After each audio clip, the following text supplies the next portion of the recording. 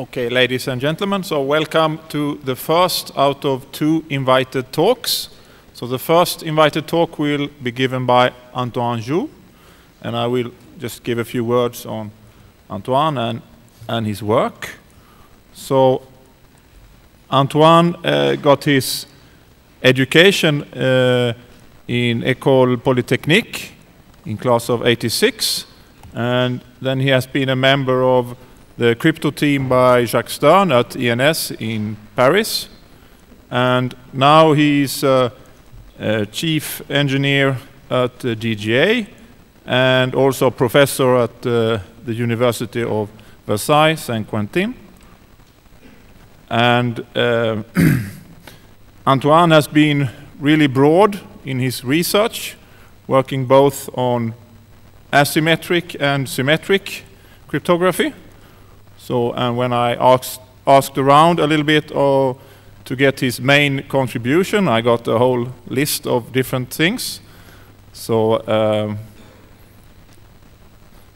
I can just mention a few of them. So on uh, symmetric cryptography, uh, Antoine's work on hash functions is, is very well known, and uh, uh the collision on SHA-0 and introduction of uh, multi-collisions. And he has also uh, uh, been a contributor in correlation attacks on stream ciphers and also inventor of RMAC. And in asymmetric cryptography, uh, he has the uh, tripartite Diffie-Hellman protocol, he has work on cryptanalysis of HFE uh, and uh, use of pairings in cryptography, uh, major contributions. And of course, then uh, a lot of work on discrete log and factoring. And we saw, for example, this morning, Antoine was a co-author of, of the paper receiving the Best Paper Award. So at last, he has also service to the community, and he has been uh, director uh, at the IACR di director. So let me welcome him here by giving him a, a big applause.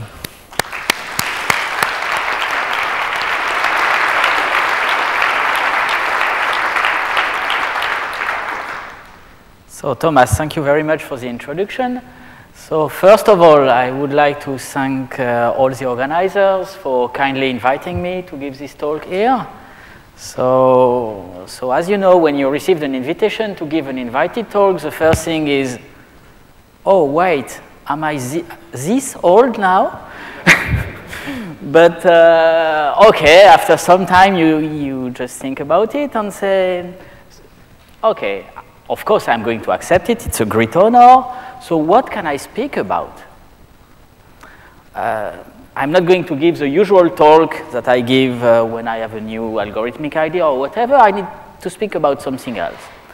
So the idea was I'm going to, to speak about high performance computing in cryptanalysis and try to give something, well, a tutorial is really too much. Just give my view on what is happening when you want to do big computation in cryptanalysis. And so this is what it is going to be about. So, but you're probably going to ask me, why do you want to speak about this? What is the point? Well, there is one very easy to explain motivation. It's the historical link. Uh, you all know that there has been a long standing relationship between computation and crypto, and the place where we are and the proximity of Bletchley Park is clearly there to emphasize this link. So all of you, you will be going to the Bletchley Park and visit either, the, well, probably both, the Museum of Computing and the, the Museum uh, of, crypto, of Crypto and Cryptanalysis. So you have all the link you want from an historical point of view. But of course, I am not an historian, so I don't know anything about this. So this cannot be the reason I am going to give this talk. So the other reason is uh, doing big computation in cryptanalysis is really kind of a background activity uh, that you do in support of research, and well, at least that I do in support of research, and which is very important uh, to give new idea, to put uh, new idea in a concrete form, and, uh, and moreover, it's something we never speak about. You know, it's as in the fairy tales. You never know what happens after the happy ending. Everything is fine, the algorithm is magic and is going to do everything. Okay, you may get a glimpse of the prince at the end of his life, and you, I am going to tell you, we have done such a big computation. Just as Vanessa did during the first talk, we have done a big computation, you give, I, we give you a, a little details, but that's it. But what happened while doing the computation? So well, it's mundane, it's boring, it's whatever, so nobody wants to hear about this. But in fact, it's not that boring. It's, it's even fun. Well, sometimes frustrating because it often doesn't work, but still, it can be really fun. So that's my motivation for speaking about this. So next you can tell me, okay, but large computation are not done only in cryptanalysis, so why speak about this very specific kind of computation? Well, obviously it's because the kind I do, but there are some really specific things that are quite important when you do computation in cryptanalysis and differs from other computation. The first thing is we are really simple-minded and we want to do either a demonstration that some algorithm is working or we just want to break a record.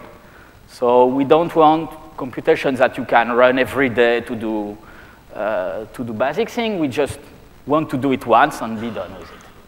So this has a nice consequence. We don't need to reuse our code. So we can program in whatever way we want. So by the way, if someone here wants to do nice programming in a company, just close your ears and don't listen to me, because I will give bad ideas. And uh, another thing is, since we are doing record breaking, we need to find computing power. And you all know the sayings about given horses, so you just use whatever is available. So sometimes you can run computation on strange things, which makes things even funnier. And a final point, which is really a crucial thing, uh, is that when you do computation in crypto, usually the end result is really easy to check. If I have computed large discrete log, I can just give you the discrete logs and you are going to check them very easily. And this is not the case for many other kind of physics, of, of computation.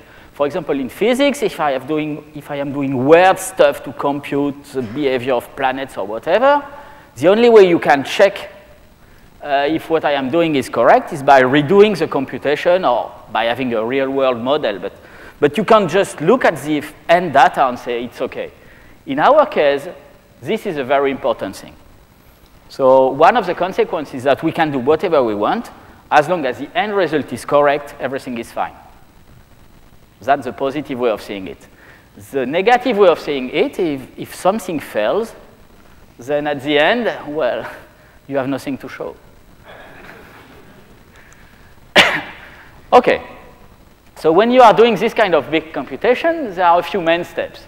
So the, main, the first main step is to have some algorithmic starting point. So you need to have something you want to do a computation on.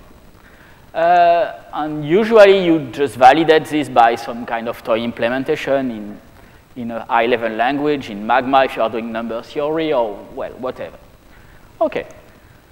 The second point, uh, this is rather political stuff, you need to go away and beg for computing power and whatever. Just find computing power. And once you have it, you need to choose a target computation which is compatible with it. Uh, well, then the easy thing, you just need to program the stuff. And, and after that, you need to run the computation. And this is, you know, just the boring thing nobody cares about. But in fact, uh, well, it's not that easy. And it's really something you need to, we, we need to work in. And one of the point of uh, high performance computing is enabling people to be able to manage large computation without too much hassle. Okay. So what kind of starting point can you start from? well, basically anything uh, in crypto. So I have written a personal sample of the kind of thing you can use, but you just can add your favorites to it. So you can, of course, do things with lattice reduction.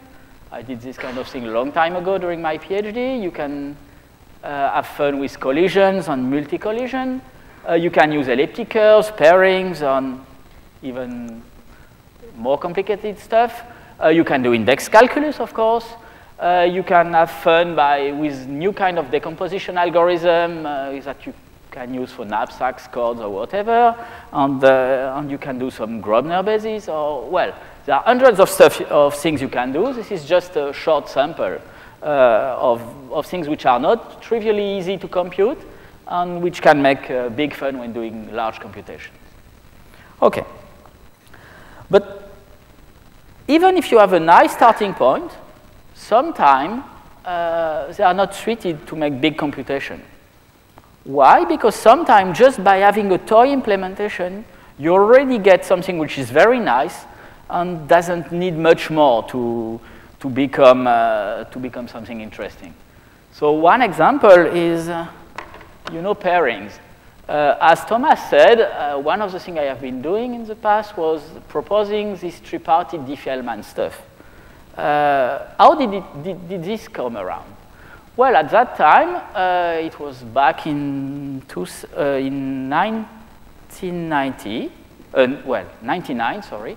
and in 99 at Eurocrypt, there was a paper comparing the reduction of Menezes, Okamoto, Vanstone on Frey-Rück. so comparing two kinds of pairings uh, for cryptanalysis of discrete log on elliptic curve. And, well, what happened in, when I read this paper, I said, okay, wait a minute. Uh, I have a toy implementation on my computer, and it's faster, much faster than what the authors are reporting. So what, what's the thing? Uh, what should I do with this? And it was at that point that I realized if it's that much faster, it was, you know, a toy implementation in PARI/GP, which is some program you probably used, and it took a few a few seconds to compute a pairing. So, well, if it's that much faster, then probably we can use it constructively. Um, well, you all know the story. Uh, so you just have no big computation to do. Another thing is a recent paper with Sorina Ionica, we, which is called Pairing the Volcano. We are doing some crazy computation with uh, isogeny volcanoes. And okay, there are some very nice, interesting algorithmic techniques proposed by, uh, by Sorina, and the implementation are just ma basic magma code, and they are way enough to do, uh, to do kind of records on, on better things than what we could do previously. So there is no need for, uh, for more than a toy implementation. So, okay, we fail. We have nothing to do. Uh, so if we don't fail at this early step, then we need to find computing power. Uh, there are many ways to do this. The first thing is, you know, the old-fashioned technique. Uh, we all use this in the past. Well, I did in it. Is just, uh, well, look around, find machines that you have access to, and just use them. So the nice thing is that this is easy to arrange, especially if you can buy a few extra machines. Uh, usually you can control the kind of machine you buy, and you know that the resources are here and you can use them.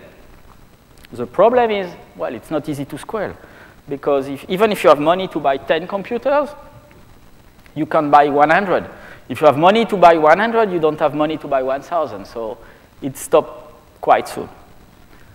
Uh, the next thing, which has been proposed uh, for factoring, is you just use all these idle cycles on the machine around on the internet. Uh, you know, all of you have computers which are doing nothing, so I just beg compu computing power from you and try to use it.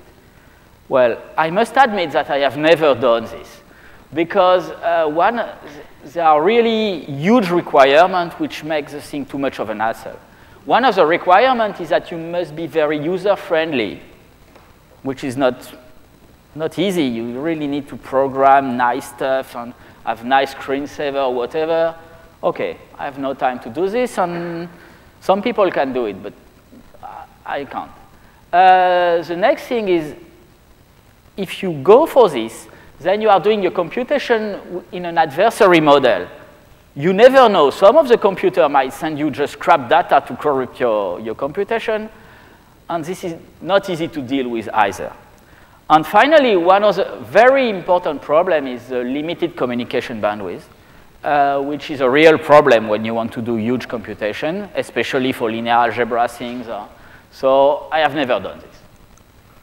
Another thing which is very nice, which is occurring these days, is you just go to one of the large computing centers, there are several around Europe, and you, you say, I would like power.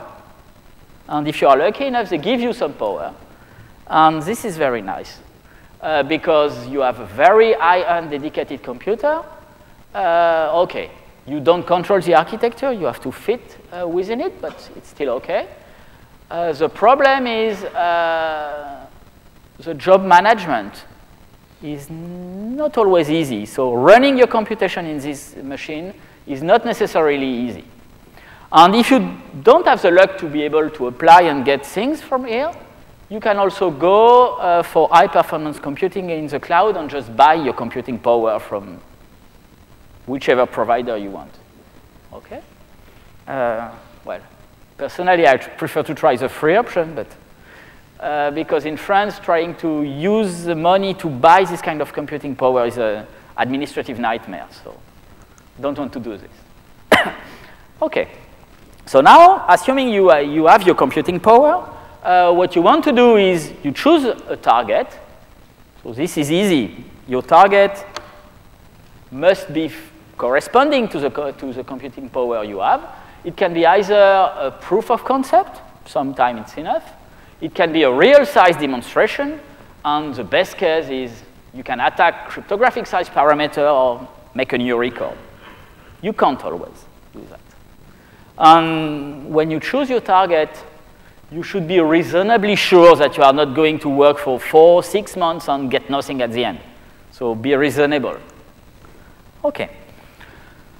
So when is it enough to do a proof of concept? Well, I have a few examples. Uh, one of my old things about uh, SHA-0 computation, we just did a 35 round, uh, a collision on 35 round of SHA-0. It was a few minutes of computation, so it was just a demo. But, well, it was the only point in the attack where we could have a full collision. And at that time, stupidly, we had no clue that near collision could be interesting. Sorry. Uh, the next thing we can do for proof of concept is what we have been doing for all the new, the new algorithm for, nap, for hard knapsacks. While, why we only, we only need a proof of concept here is because all these new algorithms are trivially parallelizable. There is some value somewhere that you just need to loop on. So you can really benchmark the thing by just choosing the correct value. If you know the solution, you know the correct value. And you benchmark the algorithm very easily without, without having to run for a very long time. So proof of concept is enough. And it's the same thing for linear decoding that you will see in a few days. OK. Uh, a more interesting case is when you do something which was not previously possible, but we're using a very moderate amount of computing power. So for example, we did a, something like this with Louis Granboulan a long time ago, and we broke some knapsack-based uh, hash function proposed by Damgard, which was very interesting, but which happened to be very easy to break by lattice reduction using only a short computation. Uh, similarly, uh, with Éliane Jaulmes, we, did, uh, we proposed a new, a new cryptanalysis of an old uh, system called PKP, uh, PKP, sorry. And uh, okay, it was a full, the full run would have been very long, but once again, knowing the correct value, you could demonstrate the thing by a reasonable computation. And the main thing here that we, was that we were able to reduce the memory. Okay. Another thing is what uh, Thomas speak about uh, uh, is um, correlation attack on LFSRs, where, well, we could do real life, well, a 40-bit LFSR example, a fast correlation attack on 40-bit LFSR, uh, which is something which is not that uninteresting because some crypto system around use several of those and combine them together. And in this case, if you have some correlation and you can improve the correlation attack, you attack the LFSRs, the individual LFSRs one by one, but it was only a few CPU days computation. So, it, okay, it's just a medium easy case. A similar thing is uh, what we did with Vanessa uh, much more recently uh, when we considered the discrete logarithm problem of an extension field of degree 5, not 6. And at that time, uh, the, the full computation was totally out of range. But what we could do was demonstrate uh, how partial sieving uh, was going, uh, well, partial relation construction was going, and uh, by using an adapted version of Grobner basis computation, we were able to do the thing using a small amount of computing power, but just a demo case only. Okay. So once you have eliminated all these options, you know now that you are going to aim at some record or some very large computation. So you know the computing power, you know your target, you know what you are doing. So what you need to know to do now is code the stuff.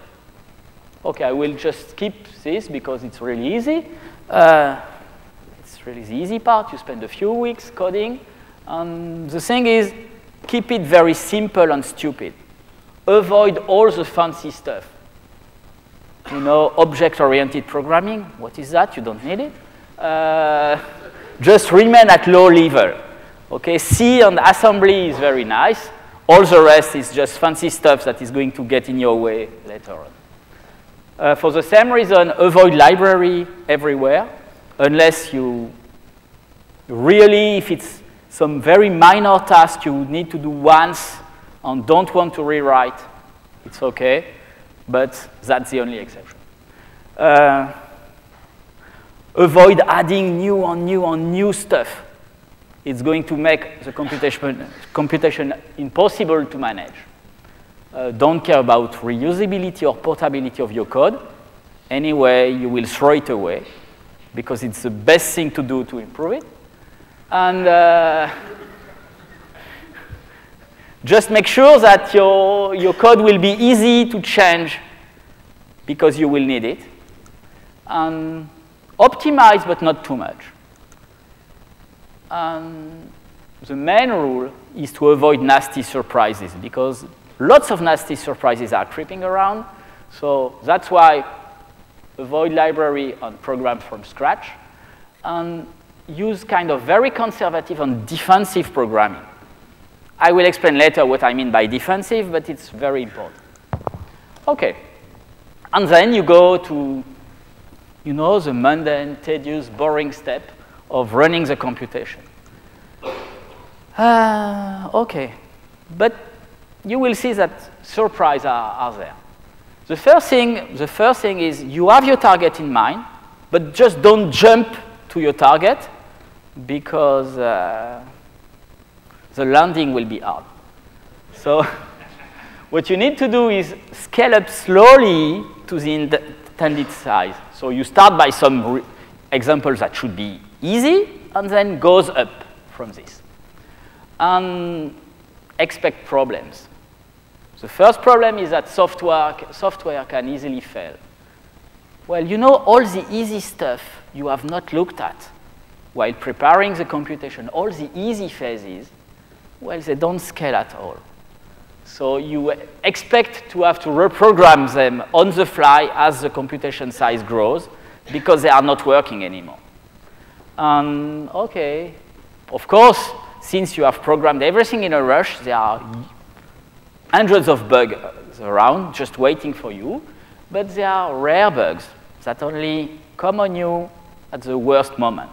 So what you need to do is to make sure that they are not going to make you spend four months doing a computation just to fail at the end, because this is ridiculous.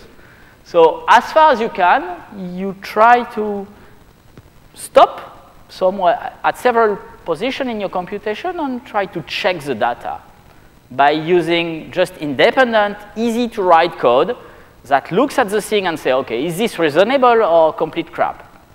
If it's reasonable, or, or if even better, if this is guaranteed, then you are fine. If it's crap, it's time to go back and do something else. Okay. Well, then after expecting software problem, expect hardware problem. The first hardware problem risk is, you know, electricity is very nice, magic, but very often it fails. Well, you might say in real life it doesn't fail that often, but when doing large computation, well, it's a real thing. Uh, if you are doing computing power on shared computers, availability of the computing power is a real problem. So avoid having too tight a schedule because usually you will not meet it. And the worst thing is, I don't know why, but whenever I try to do some very big computation, I have nasty surprises, you know? Everything seems fine, but when you reread the data at some point, there is something wrong. All the numbers are correct, but one of the numbers is wrong. This, this cannot be a bug, well, unless you are uh, extremely unlucky. There is no way this could be a bug because usually when a single bit goes wrong somewhere, it's going to amplify. So the most probable thing is it's probably an hardware fault. And depending on the machine, you can get some bit corrupted in memory at some point, or something which, which is probably more probable is when you write down your result to disk, you know you are using complicated protocols to share the disk between machines. Who knows what happens? Not me. But usually, you may have problem. So once again, check your data, because uh, if they are wrong, the sequel is not going to be fun. Okay. So just to let you have in mind uh, a kind of scale of what big computation are, I have looked around and find a few reference points. So, you know, reference point from crypto mostly, but a few from other places. Uh, when you look at crypto examples, so the largest uh, computation, discrete log computation in finite field I am aware of was done by Kleinjung in 2007 and it was 160 digit, and the total uh, computing power was this. So it's about 17 uh, CPUs year. So if, if you do this on a single uh, core, when I write CPU throughout the talk, I mean core, because now you have this, this processor with four cores or eight cores or whatever, and you don't never know how to count them. So I'm, I mean one core. So if you just use a single core, you are going to run for 17 years. So this, this is not a small computation, but they are larger. The largest computation uh, which, which is finished, I am aware of, is this RSA 7, uh, 768, which took, you see, 1,500 years for the sieving and uh, 150 more for the linear algebra which really is big. Okay? And it's so big that I have not written the full list of authors. Are, it's a really long list because managing this stuff really need uh, human people to be there and try to, to run the thing and correct the computer and do everything. So it's really a ma major project just to run this kind of thing. The one before, the RSA 200 digit, was much smaller. Okay? And if you really want to have a huge computation, then ask Dan. They are still running this uh, EC, uh, elliptic curve uh, uh 130 bits on a binary field by using a generic algorithm. So this is something which, which is feasible, but at the real range, uh, real limit of feasibility. And the estimated, uh, the estimated power is around 16,000 years on a single core which is really a huge computation. Okay, so some computation from other field. Uh, some people, you know, in number theory like computing digits of pi. Uh, the last record is 10 trillion digits. Uh, okay, it took three CPU years. well, it's rather a small computation compared to some of the, of the one above in crypto. And just to have, uh, to have some more things, I looked at the, uh, at the PRACE. So PRACE is a European thing to, where you can apply for computing power. So I looked at their, at their site and looked at the latest project and the time allotment that were given during the last call for project. And the, the biggest thing they gave was for climate simulation, and the total number of, uh, of the total computing power that has been allo allocated to this project is uh, 16,000 uh, 16, years. So exactly what would be needed to do the, big, uh, the biggest computation in, in, crypto above. So you see, big computation in crypto are not this ridiculous compared to big computation at large. Okay. so now let's go for a few examples of computation I have done in the old or recent past, just to see a kind of things that may happen when you do this. So one of the oldest examples I want to speak about is a point counting on elliptic curve, which we did back in 98 with Reynald Lercier. And the starting point was a Reynald PhD thesis from 97. And you probably know that when you want to count uh, points on elliptic, uh, on elliptic curve uh, using the Schoof uh, Elkies-Atkin algorithm, what you do is you have two main phases. The first phase is you just compute partial information about the number of points modulo small numbers. And once you get this, you need to pass everything together. And the classical technique at that time was called the match and sort algorithm. And the idea was just do a collision search on the elliptic curve. Okay. And this cost a lot in memory. You know, the time and memory of this kind of algorithm are the same. You need to have big lists in memory, sort them, and lo then look for a collision. Okay. Uh, at that point, we had some modular data available for, for large computation. And it, as it was natural, Reynald had started the match and sort thing, and it required one month. Okay, easy, just wait.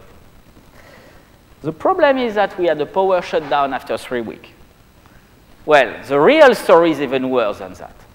You know, two weeks after the computation had started, we had a call from the people uh, uh, doing the maintenance of the, of the place, and they tell, told us, okay, in one week, we are going to shut the power to do some maintenance, electrical maintenance.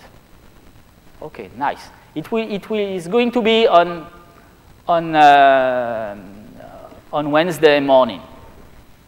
Oh, problem, because the, the program was not doing any saving of the data to this, so we couldn't restart it. Okay. So during this week, we, we worked hard to find a way to core dump the program in a way that would allow us to restart the computation. Good. On Thursday, uh, noon, we were ready. We knew exactly how we were going to dump the data to restart after the power failure. So we went for lunch.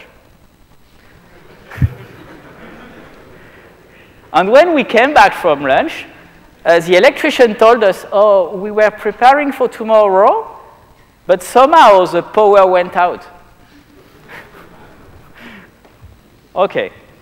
So in this case, what you do is, uh, do I restart the computation or no? We went back to the drawing board. Can we solve the problem in a different way? And we could. And we, find, we found a new algorithm with the same asymptotic complexity where time is concerned, but that used a much smaller amount of memory. And we could do the computation using four CPUs during a single night. And during a single night, usually you don't have any power failures. So it was fine. And well, and the description of the algorithm went in this paper one year later. Okay, and as I said, we reduce the memory cost. So, I told you before that the first SHA-0 stuff I did was just a toy example that we had nothing to do with it. But a few years later, things had progressed, and it became possible to try to attack SHA-0, really. And so it was based on an improved version of the analysis.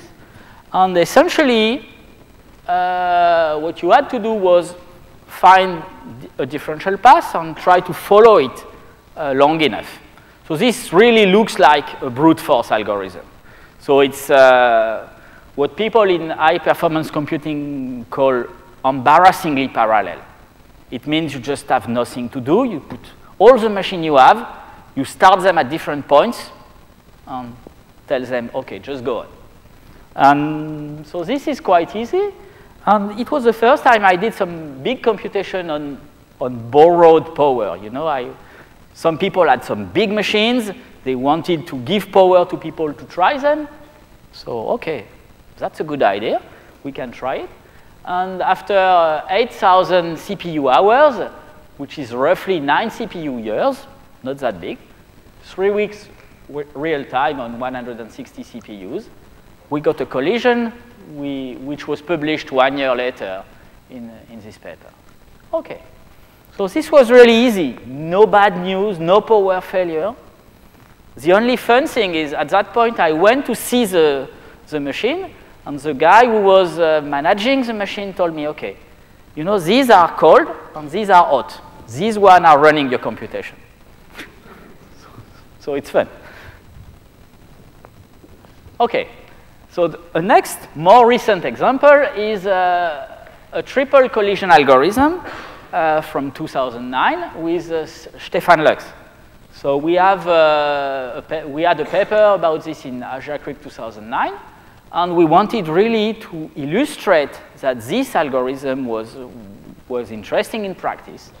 So the idea is, if you look at the early literature, to find a triple collision in a random function, you need a lot of memory. And when you need a lot of memory, it's not possible to do the things. So what we found was a simple way to reduce the, the, the amount of memory. And with this reduced amount, you get a, computation with three phases. Phase one is you just compute many iterations of the function for which you want to find collision. You start from random value, you iterate until you get some distinguished point, and then you stop.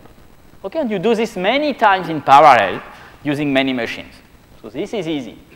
Then you get everything centralized, and you sort the value and find triples with the same endpoint, and you rerun roughly phase one on these triples to make the sequence converge.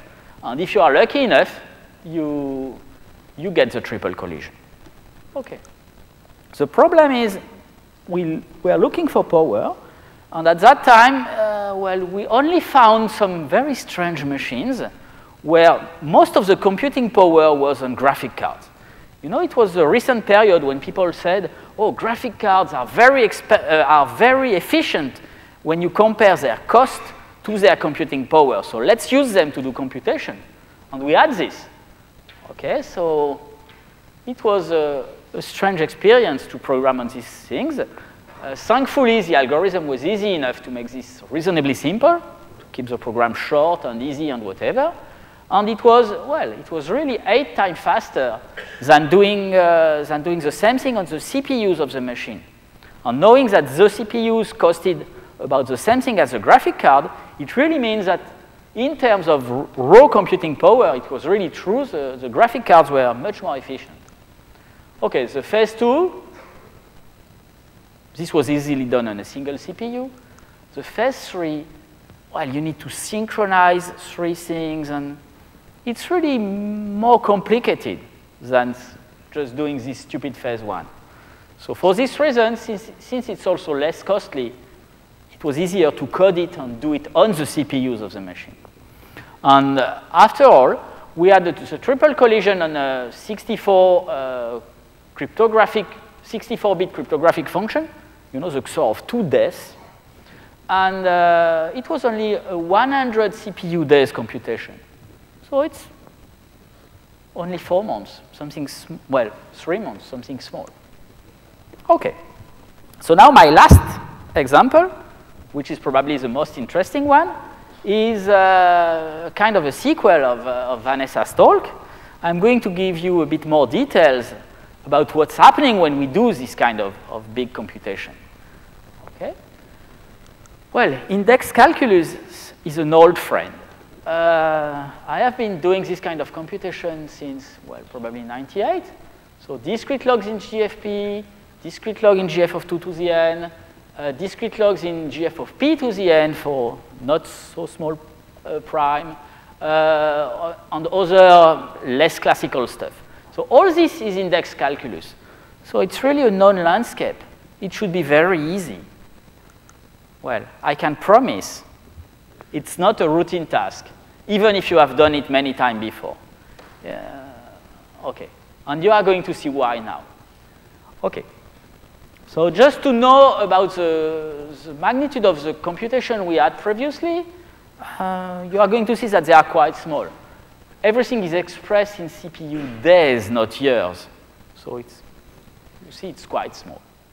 The biggest one we did was this uh, discrete log in GF of 2 to the 613, which was only 3 CPU, three CPU years. And, uh, and you also have the kind of architecture you, we have been using for this stuff. So in the early days, it was just single, uh, single core machines, which were very easy to use.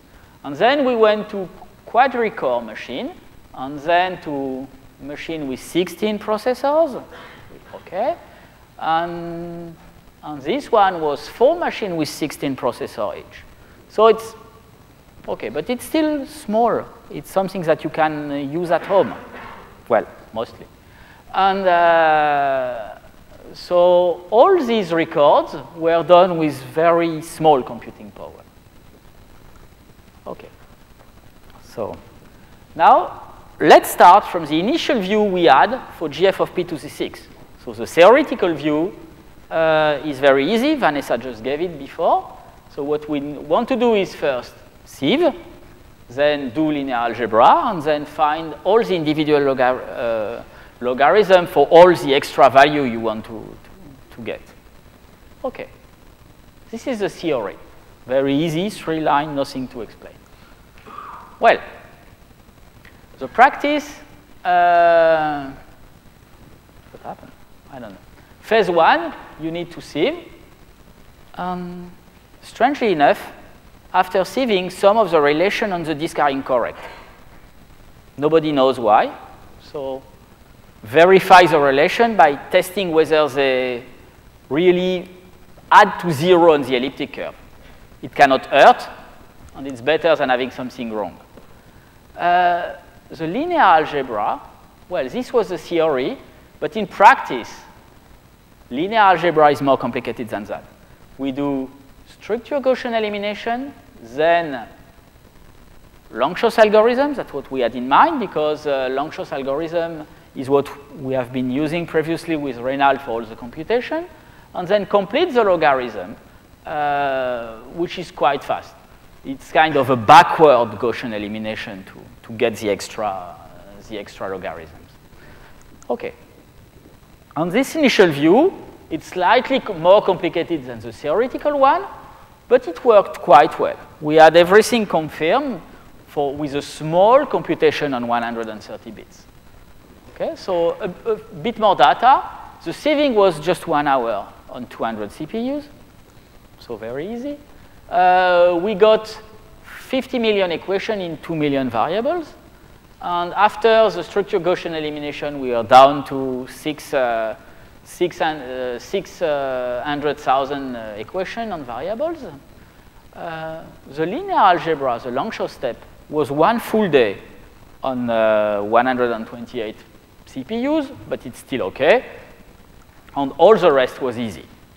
So the total thing was half a year of computing power. Okay, so very easy, simple computation, no problem. Okay. So clearly, as I told you before, we try to scale up slowly. So don't go from 130 bit to 160, try to take steps. Because uh, it's, it can be useful.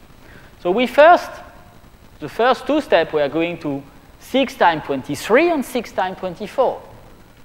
Well, as I told you, the easy steps do not scale at all.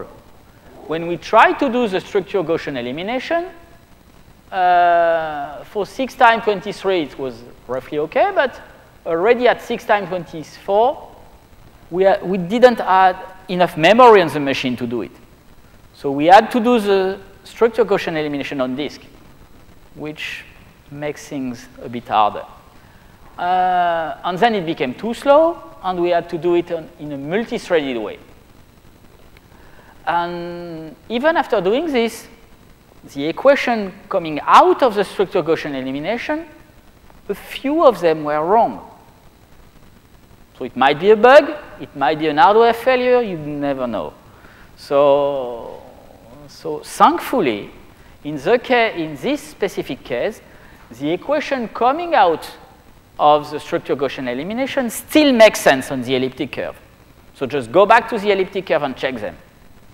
If they are correct, keep them. Okay, the second problem we have is that Lanczos is getting slow. And the problem is ma made harder because on the machine, we have a time limit on jobs. You can't run for more than a day. Then your job is killed. Okay, so you need to find an automated process to save and restart uh, without having too much trouble. Okay. So for the six time, six time 23, well, sieving was three hours on 1,000 CPUs. Something very easy to you don't need to do anything. Uh, the structure Gaussian elimination, not enough memory. So rewrite to work on disk and then multi-thread and okay. And we started from almost 900 million equations in 4 million variables.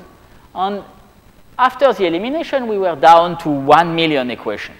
So it was divided by 4, the number of uh, of variable, which is, which is quite good for Gaussian elimination. And finally, it was just a few hours on 32 CPUs. So it's OK. Corrupted equation, add a check.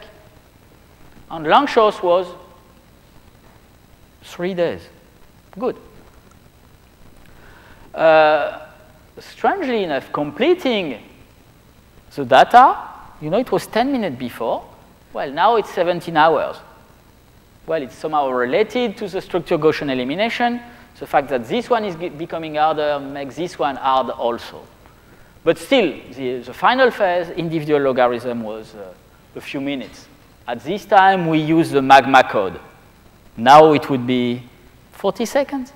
Oh, no, 14 seconds. So it's OK. The total thing was one year. So you see, half a year, one year. OK, scaling is finally not that bad. Uh, 6 times 24, okay? You see that the real problem is Lanczos because sieving is still very fast, less than a day. Lanczos is getting slower. Well, the problem is that there is an unbalance. Here we are using 1,000 CPUs, and here only 64, so clearly something is wrong. And the total CPUs is almost four years. Okay. So now the next step, which is logical, is the one Vanessa presented this morning. We go to 6 times 25. And as I said, Lanczos is going very slow. We need to, to split the job in a nice way. It's very, very complicated. Completing the, the logarithm is becoming harder. And it's even worse than before the corruption on disk is back. So after completing the computation of discrete logarithm, something really strange occurred. Most of the logarithm were correct, well, almost all, to say the truth, but a few here and there were incorrect. And trying to do backward Gaussian elimination with a few false value uh, doesn't lead to any correct result. So we had to add, we, we, we had to add a correction step to remove the incorrect logs. which, which was a pain. Okay. So as Vanessa said this morning, sieving was very easy. 62 hours, well, two days and a half on 1,000 CPUs. 14 gig, 14 uh, billion equations in 16 uh, variable. Okay, we went down to 3 million, so five-fold improvement. And this took about a day. When we say about a day, it means that when we do the Gaussian elimination on disk, uh, in fact, we need to run it several times to adjust some strange, crazy parameter until we find the right one. And once you have the right one, it's, it's just a few hours. But you need to find the right parameter by dichotomy search or whatever. But the Lanczos was a full month. And this is really a pain. Okay. Uh, the total was 12 CPU year. So the next logical step, the one you probably expected to see uh, here was 6 times 26. Okay, so the theory was there. The view confirmed by, by 6 times 25 is here. So everything is fine. We should be able to do it. And the Lanczos should take four months. It's long, but it should be achievable. So the sieving, okay, this time we were in a rush, so we sieved on 8,000 processor. So it was just a day. Oh, first problem. And for some reason, it to do the full sieving on the parametrization we had would have taken 27 hours. So the sieving was cut in the middle. Well, not a problem, you are losing a few equations, except that it was also cut in the middle of an equation, so to reread the files, we had to patch the program again. Okay, not a real problem, but in practice it can be inconvenient. So now we have 40 million, 40 billion equation, and in 33 million variables, we can do the Gaussian elimination, go down to 6 million, which is large but feasible, and we expect the Lanczos to be done in four months. Okay, just launch it. So we started on September the 22nd. So of course it should be finished.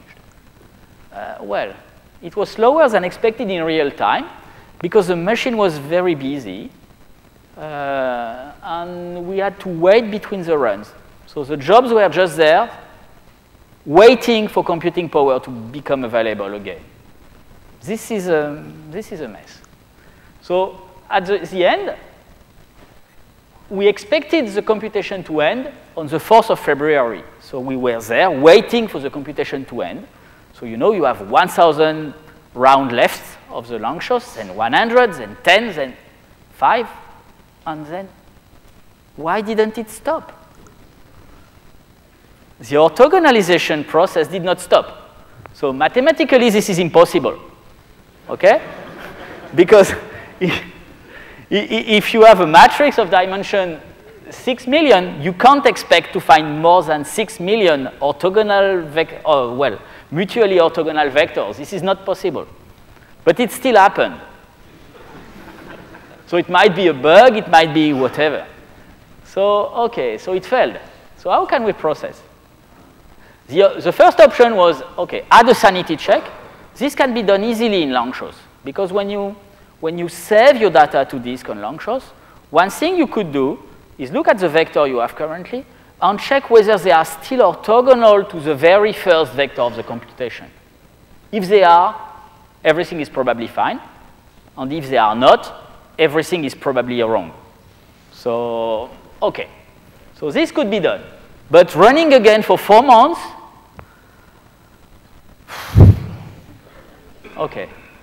Especially since we only have access to the machine till the end of May. Okay. So the second option is try to improve Lanczos to get more CPUs. But due to the communication, even if we can do this, we are not going to gain enough in scale to make something reasonable. So option three, go back to the drawing board. Okay, so go back to the drawing board. Oh, the solution is known. You know, we should use block Wiedemann by Coppersmith. And uh, it has already been used several times by Thomé for this computation of discrete log and by Kleinjung for this one. So each time they had, oh, something which was about a one month computation. And the systems were smaller than ours. So it's not clear. It's not clear we can do it really. So, okay, but still, there are three phases. The first phase is very nice because instead of having a single run of matrix vector multiplication, you do several runs in parallel independently from each other. So you can use computing power easily. Then you need to find a linear relation between all this stuff. And there is this paper by Thomé which explains how to do it with uh, an efficient, uh, efficient algorithmics. And finally, you need to recompute part of what you did in the first uh, in the first phase and derive a solution from it by putting this data inside, uh, inside it. Okay. But clearly, what we have here is not good enough for our purpose. So if we want this to work, we need to scale up the approach and get something, uh, something better. Okay. So we did develop this, uh, this program. And what is happening on the previous example? I told you, scale up slowly. So restart from this example and look at what is going to happen.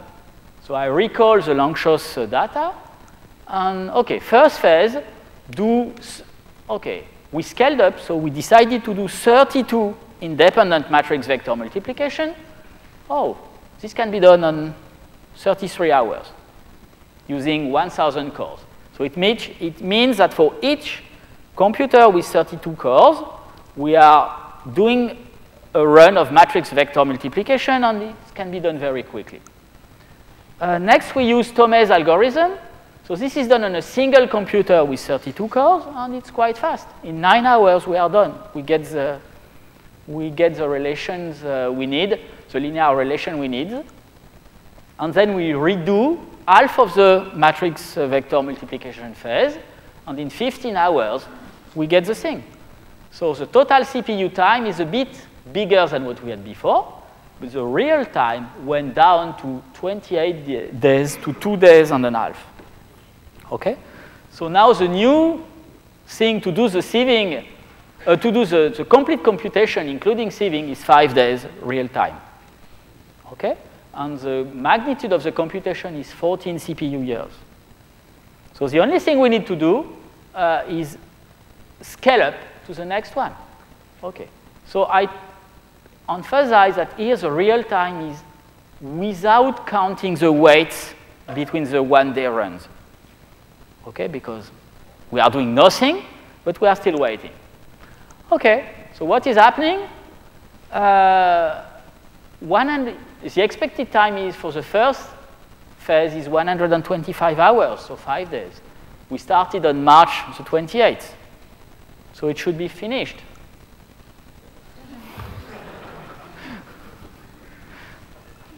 Okay, so well, the power was back the day after, but the machine is very busy these days, and the first phase is still running. I just checked this morning before the talk, and out of the 32 threads, only 24 are finished. So I can't give any more results for today. And that's it.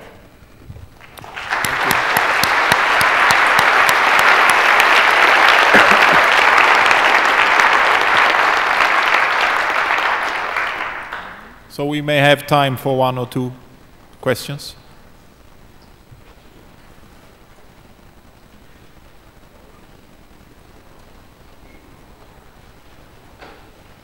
Do we have a microphone?